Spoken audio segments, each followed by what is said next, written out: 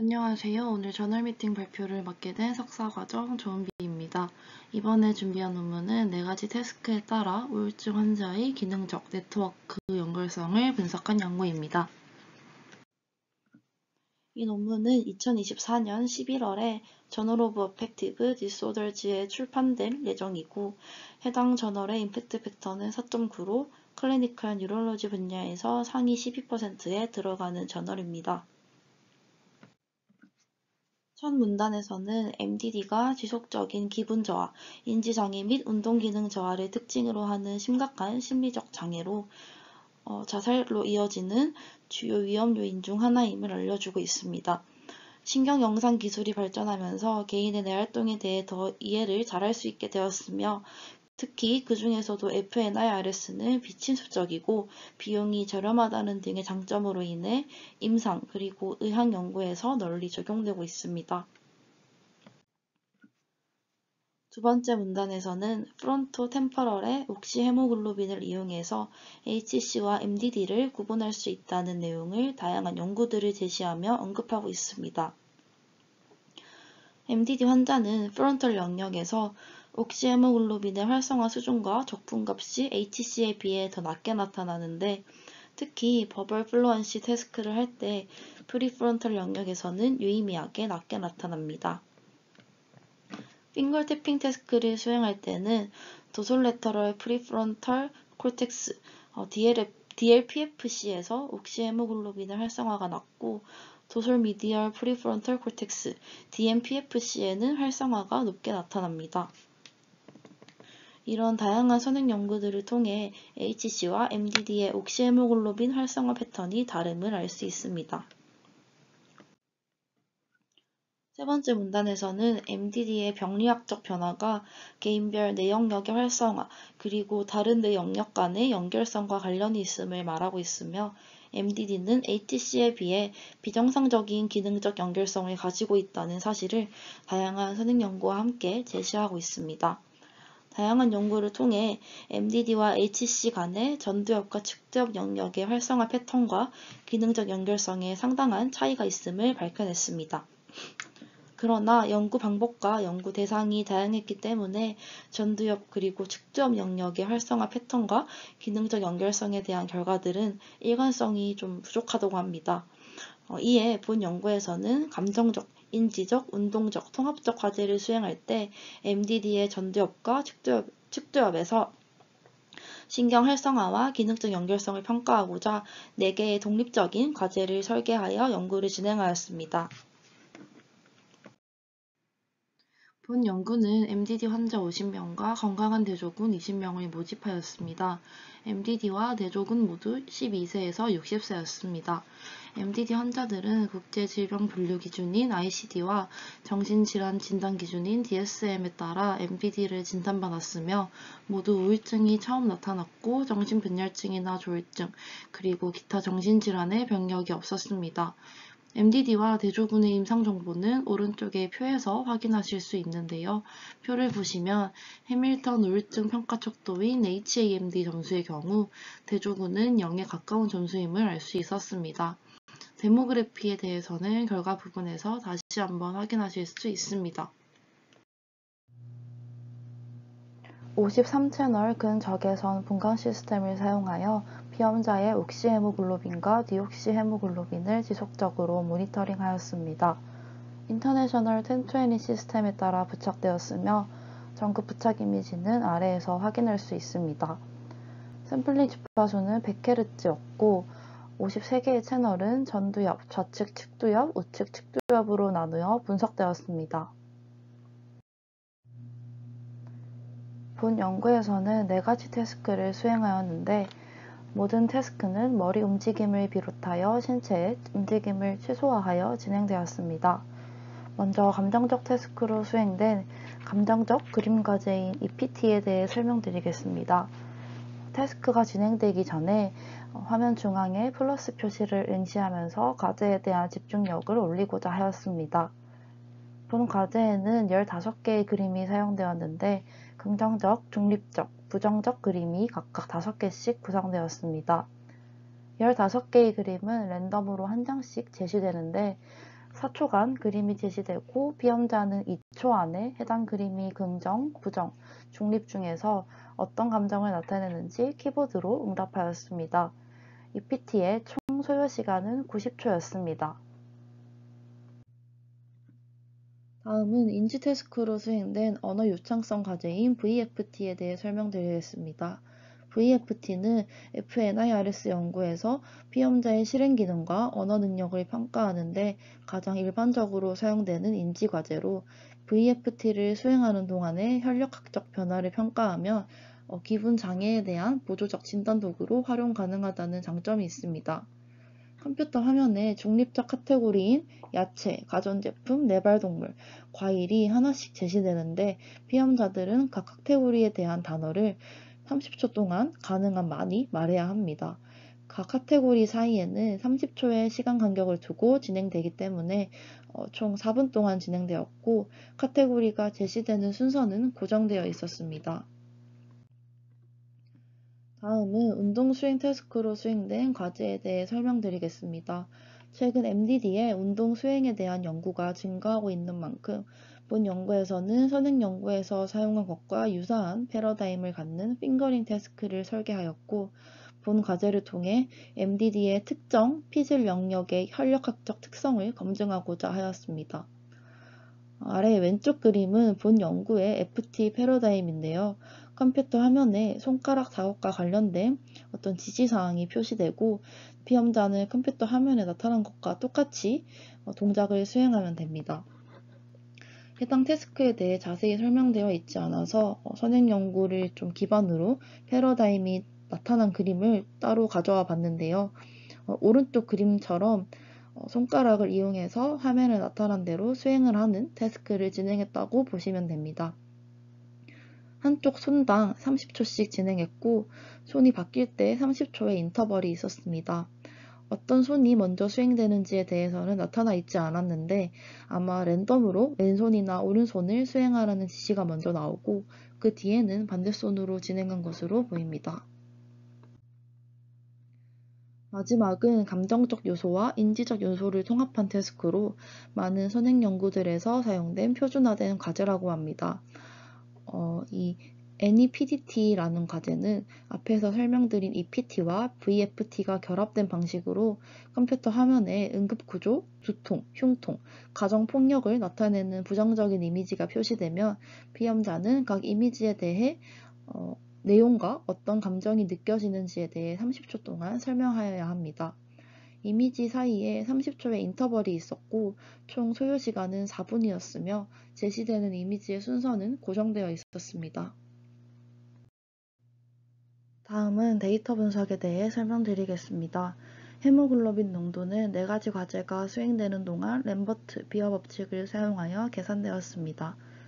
FNIRS 데이터는 주로 저주파 성분으로 구성되기 때문에 비교적 깨끗한 데이터를 얻기 위해 차단 주파수가 0.007Hz인 4차 버터워스 low pass filter를 적용하여 저주파 drift와 고주파 생리적 노이즈의 영향을 줄였습니다. 그 후 moving average filter를 사용하여 어, 신호의 스파이크를 제거하고 고주파 대역으로 인한 방해 요소를 억제하였습니다. FNIRS에는 옥시헤모글로빈과 deoxyhemoglobin이 있는데요. 이 FNIRS를 기반으로 하는 뇌 네트워크 연구에서는 옥시헤모글로빈이 더 높은 신뢰성을 갖고 있다고 합니다. 따라서 본 연구에서도 뇌의 기능적 분석을 위해 옥시헤모글로빈을 선택하였습니다. 기능적 연결성은 채널들의 time series 간 피어슨 상관계수를 계산하여 정량화해 주었고 옥시헤모글로빈 농도를 이용하여 반구 비대칭 지수인 AI를 이 아래에 있는 공식을 사용하여 계산하였습니다.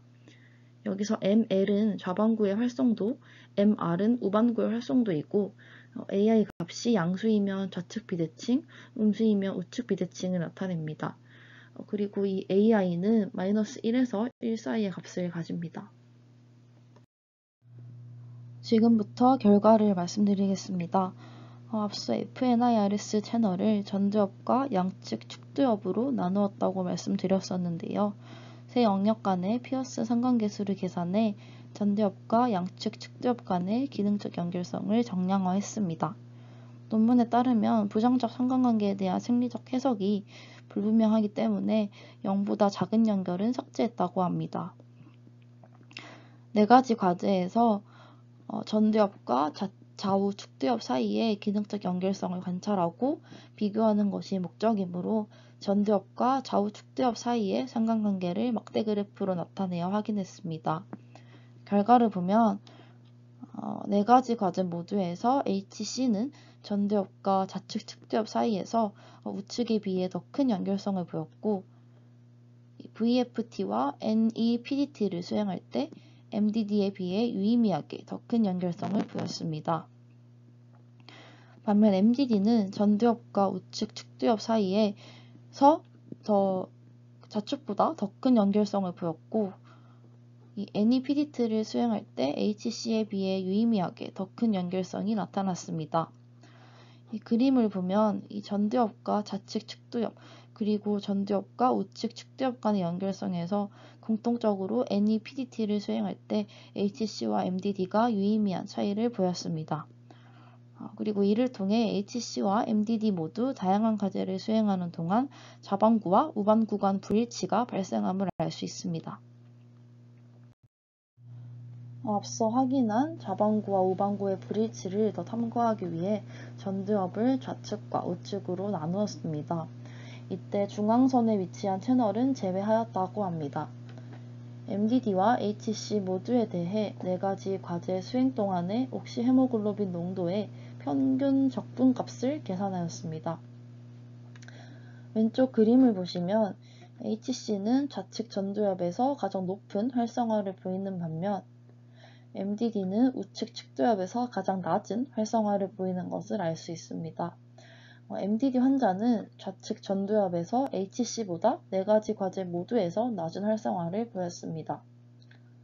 EPT 동안 MDD와 HC 간의 옥시 헤모글로빈 농도에는 유의한 차이가 없었습니다. VFT를 수행하는 동안에는 어, 우측 전두엽을 제외한 나머지 영역에서 모두 MDD와 HC 간의 옥시 헤모글로빈 농도에 유의한 차이가 있었고 이 나머지 두 개의 태스크를 수행하는 동안에는 우측 전두엽에서 MDD의 활성화 강도가 HC보다 상당히 큰 것을 알 수 있었습니다. 어, 특히 이 NEPDT에서 MDD의 우측 전두엽 활성화 강도는 어, 좌측 측두엽과 우측 측두엽 모두에서 HC의 활성화 수준보다 높음을 알 수 있습니다. 옥시 헤모글로빈 농도의 변화를 관찰함으로써 어, 대부분의 과제를 실행하는 동안 어, MDD 환자의 좌측 전두엽에서의 활성화 수준이 우측 전두엽에 비해 약하다는 것을 알 수 있습니다. 어, 왼쪽 그래프로부터 양쪽 전두엽에서 다양한 차이가 나타남을 알 수 있었는데요. 전두엽의 활성화 패턴을 좀 더 자세히 알아보고자 네 가지 과제를 수행할 때 양쪽 전두엽에 대한 옥시헤모글로빈 농도를 나타내었습니다.